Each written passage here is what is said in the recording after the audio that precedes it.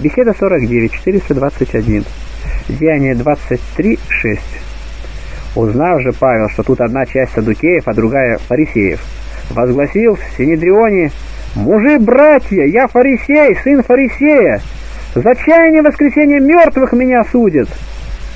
Когда же он сказал это, произошла распря между фарисеями и садукеями, и собрание разделилось. Ибо садукеи говорят, что нет воскресения ни ангела, ни духа, а фарисеи признают и то, и другое. Опять Павел говорит по-человечески. Он не всегда руководится благодатью, но позволяет себе привносить нечто и от себя. Это он и делает как теперь, так и после. И в оправдании своем намеревается разделить злобно соединившуюся против него толпу. Не ложь, говорит он и здесь, называя себя фарисеем. По предкам своим он действительно был фарисей, потому и оправдывается, что я фарисей. Они не хотели сказать, за что судит его, потому что находи, находит нужным сам он объяснить это. Фарисей же, говорит писатель, исповедует то и другое. Здесь три предмета. Почему же он говорит то и другое? Или потому что дух и ангел одно, или потому что это выражение употребляется не только о двух, но и о трех. Следовательно, он, оно сказано по употреблению, а не по собственному значению. Смотри, когда он стал между ними, тогда они принимают его сторону. Сделался большой крик, и вставшие книжники фарисейской стороны спорили, говоря, «Ничего худого мы не находим в этом человеке. Если же дух или ангел говорил ему, не будем противиться Богу». А почему они не защищали его прежде? Потому что он не принадлежал к ним, и до этого оправдания еще не было известно, что он прежде был фарисеем. Видишь ли, как открывается истина, когда умолкают страсти? Слова же их означают следующее. Что за вина, если это сказал ему ангел или дух, и по его внушению он учит так о воскресении. Потому оставим его, чтобы, восставая против него, нам не сделаться противниками Богу. Смотри, как благоразумно они защищают Павла, хотя он и не подал им никакого к тому повода. Но как раздор увеличился, тот тысячи начальник, опасаясь, чтобы они не растерзали Павла, повелел воинам сойти, взять его из среды их и отвесть в крепость. Тысяченачальник боится, чтобы не растерзали Павла. Когда он сказал, что он римлянин, следовательно, это было небезопасно. Видишь ли, что он справедливо назвал себя римлянином. Иначе тысяченачальник и теперь не пришел бы в страх, но воины уводят его. Видя, что все безуспешно, эти злодеи начинают действовать сами, как они хотели прежде, но встретили препятствия. Так злоба никогда не успокаивается, несмотря ни на какие препятствия. Между тем, сколько здесь обстоятельств располагало их и утолить гнев свой, и образумиться. Тем не менее, они упорствуют. Даже достаточно было для вразумления их и того, что человек, которого они хотели растерзать, отнимается у них и избегает таких опасностей. В следующую ночь Господь, явившись ему, сказал, «Дерзай, Павел, ибо как ты свидетельствовал о мне в Иерусалиме, так надлежит тебе свидетельствовать и в Риме. С наступлением дня некоторые иудеи сделали умысел и заклялись не есть и не пить, доколе не убьют Павла. Было же более сорока сделавших такое заклятие. Закляли себя, говорит. Видишь ли, как они мстительны и упорны в злобе. Что значит заклясть себя? Иначе сказать, они оставят веру в Бога, если не исполнят своего намерения в отношении к Павлу.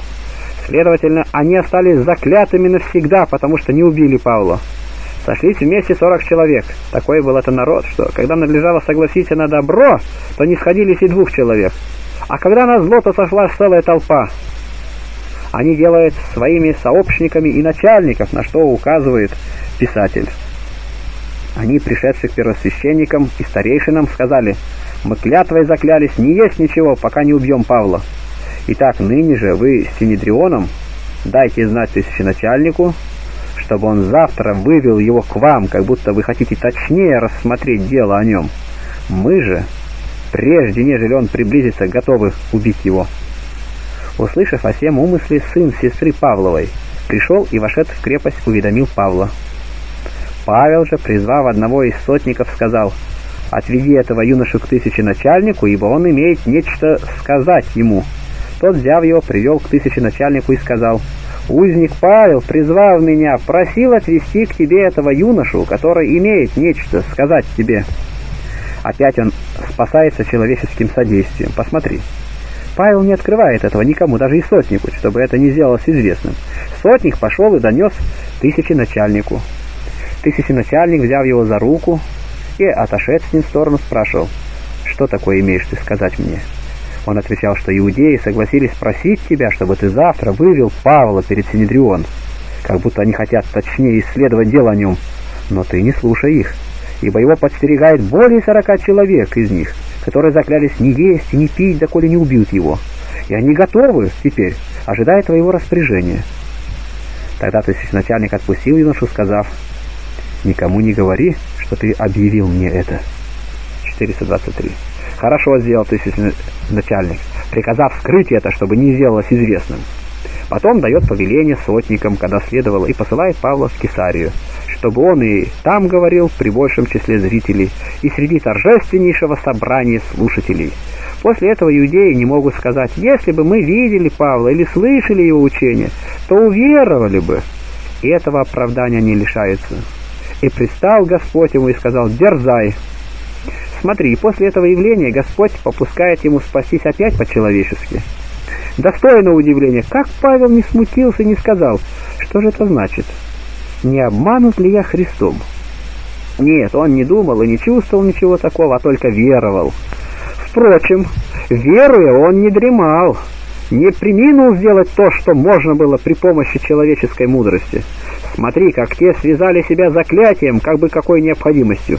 Вот и пост, отец мужа убийства. Как Ирод связал себя клятвой, как бы какой необходимостью, так и они. Таково коварство дьявола — под видом набожности он расставляет сети. Нужно было прийти и обвинять, собирать судилище. Это дело не священников, а разбойников, не начальников, а злодеев. И смотри, какая крайняя злоба. Недовольствуется тем, что склоняет козлу друг друга, но решается вместе с собой склонить к тому же и правителя. Потому Господь устроил, что Он узнал об их умысле. А они не только тем, что ничего не могли сказать против Павла, но и тем, что сделали умысел тайно обличили сами себя и показали, что они — ничто. После отправления Павла первосвященники, вероятно, приходили с просьбой к тысяченачальнику и возвратились со стыдом без успеха. А тысяченачальник поступил справедливо. Он не решился ни отпустить Павла, ни согласиться с ним. Но как он, скажешь, поверил, что сказано юношей было справедливо? Он из прежнего заключил, что они могут сделать это, и смотри, какое коварство. Сами первосвященники были как бы поставлены в необходимость. Не удивляйся, ведь если те решались на такое дело и принимали на себя всю опасность, то эти еще более могли сделать то же. Видишь ли, как Павел оказывается невинным перед судом внешних язычников, подобно как Христос перед судом Пилата. Смотри, как злоба вредит сама себе. Они предали Павла, чтобы осудить и убить его. А выходит противное – он спасается и оказывается невинным. Если бы было не так, то растерзали бы его. Если бы было не так, то погубили бы, осудили бы его. Но тысяченачальник не только избавляет его от этого умысла, но и способствует ему безопасно отправиться в сопровождении такого отряда. А каким образом? Послушай. И призвав двух сотников, сказал, приготовьте мне воинов пеших двести, конных семьдесят и стрелков двести чтобы с третьего часа ночи шли в Кесарию. Приготовьте также ослов, чтобы, посадивши Павла, препроводить его к правителю Феликсу. Написал и письмо следующего содержания. Клавдий Лисий, достопочтенному правителю Феликсу радоваться. Всего человека иудеи схватили и готовы были убить. Я пришел с воинами, отнял его, узнав, что он римский гражданин. Потом, желая узнать, в чем обвиняли его, привел его в Синедрион их. И нашел, что его обвиняют в спорных мнениях, касающихся закона их, но что нет в нем никакой вины достойной смерти или оков. А когда меня дошло, что иудеи злоумышляют на этого человека, то я немедленно послал его к тебе, приказав и обвинителям говорить за него, на него перед тобою. Будь здоров, вот и письмо, заключающее в себе оправдание Павла. Ничего, говорит, не нашел достойного смерти, служащее к осуждению более их, нежели его. Так они домогались убить его. И прежде, говорит, мужа, которого покушались убить иудеи, потом свел его к ним. Но и тогда они не могли ни в чем обвинить его. И хотя после первого покушения им следовало успокоиться и устыдиться, но они опять замышляют убить его. Так ясно эти слова говорят опять в его пользу. А для чего он посылает туда обвинителей? Для того, чтобы и в том судилище, где дело имело рассматриваться обстоятельнее, он оказался невинным. Но обратимся к вышесказанному. «Я фарисей», — это сказал Павел для того, чтобы расположить их к себе, а чтобы не показаться льстецом, присовокупляет, что за надежду воскресения мертвых судит меня, защищает себя от их обвинений и клеветы. Садукеи утверждают, что нет ни ангела, ни духа. Они не признают ничего бестелесного, может быть, даже и Бога по своей грубости. Потому они не хотят верить и воскресению. И ставший, говорит писатель, книжники части фарисейской, вначале спорить. Смотри, тысяченачальник слышит, что фарисеи признают его невинным и принимают его сторону, уводит его с великим дерзновением. Сказанное Павлу также исполнено любомудрие. И в наставшую ночь предстал ему Господь, сказав, «Дерзай, Павел, ибо как ты свидетельствовал мне в Иерусалиме, так подобает тебе и в Риме свидетельствовать». Смотри, какое утешение! Сперва Господь восхваляет его, потом внушает, чтобы он не боялся отправления в Рим, которое еще не было известно, и как бы так говорит, «Ты не только отправишься туда, но и покажешь великое дерзновение». Этим выражается не то, что он будет спасен, но что он будет свидетельствовать с великой славою в великом городе. А почему Господь явился ему не прежде, как когда он подвергся опасности? Потому что Бог всегда утешает в скорбях, когда он бывает более вожделенным, и научает нас среди опасностей. Иначе сказать, когда он был свободен от уз, тогда оставался спокойным, а теперь его ожидали бедствия. Клятвою заклялись, говорит, не есть, не пить. Какое неистовство! Сами себя безрассудно подвергает проклятию, чтобы когда его выведут, мы могли убить. Что ты говоришь?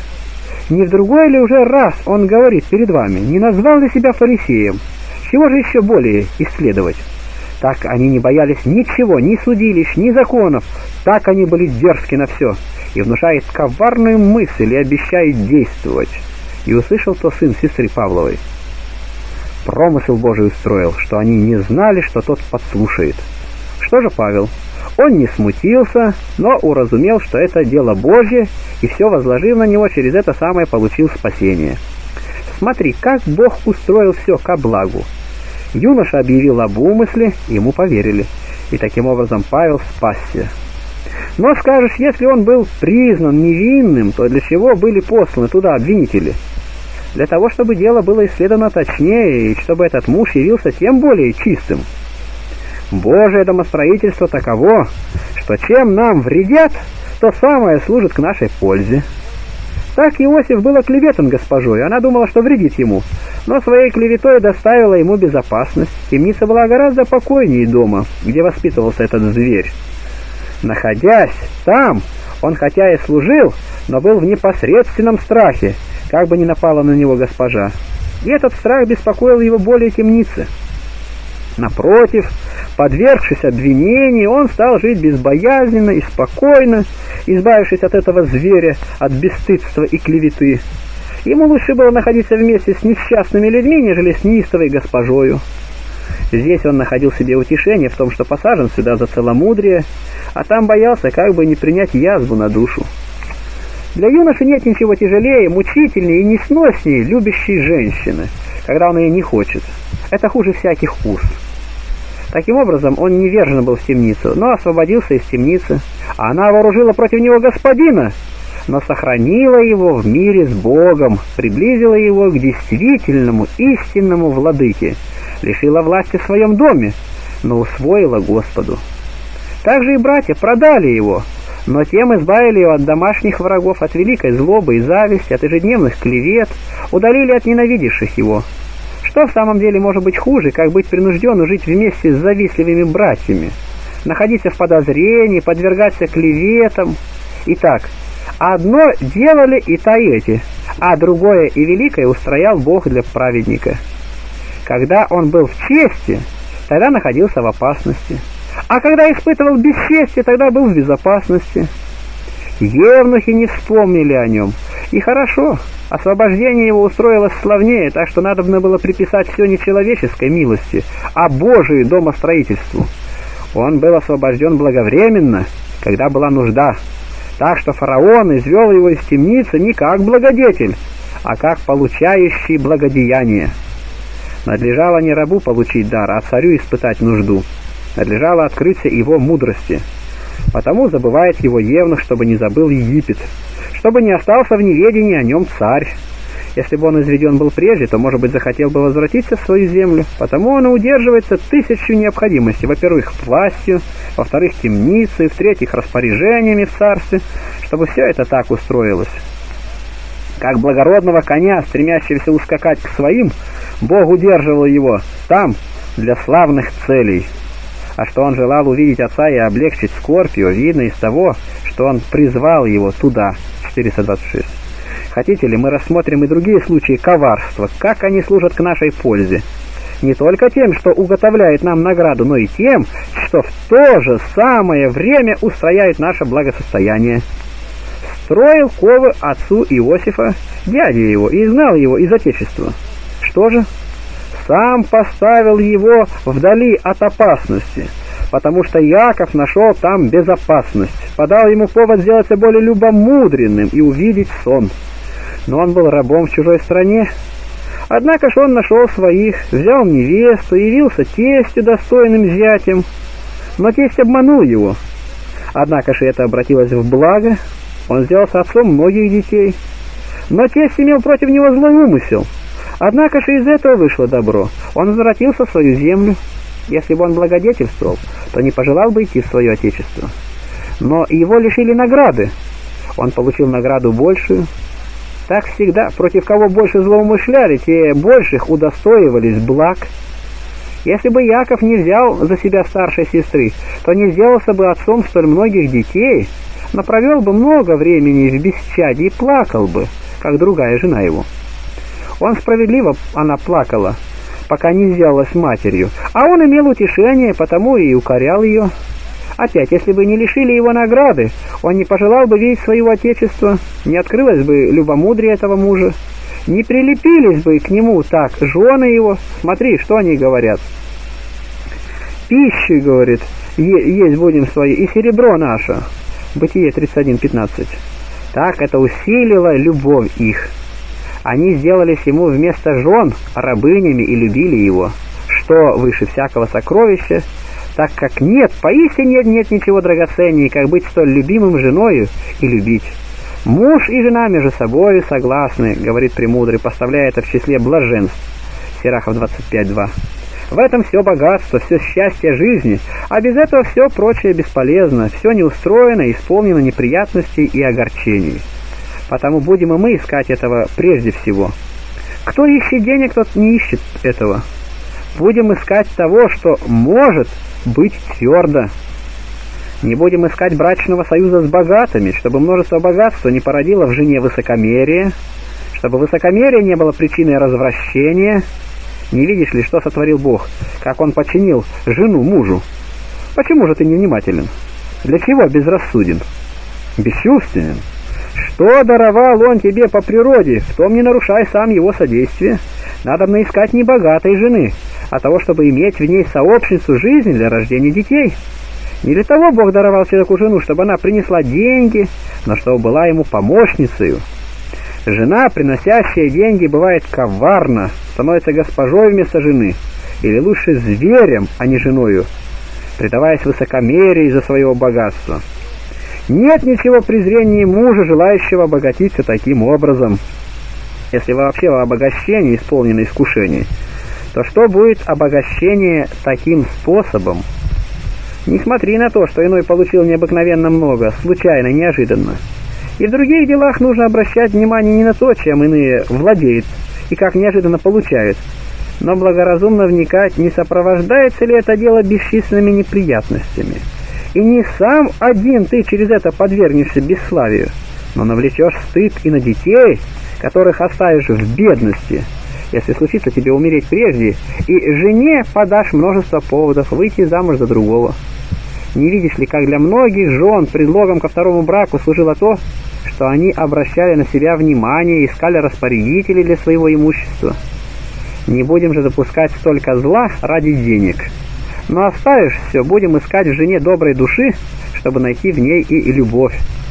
В этом великое богатство, в этом высокое сокровище, в этом бесчисленное множество благ, которых да насладимся все мы, живя как должно и согласно с законами божественными, чтобы нам сподобиться и благ будущих благодати человеколюбием Господа нашего Иисуса Христа, с которым Отцу со Святым Духом слава, держава, честь, ныне и присно и во веки веков. Аминь.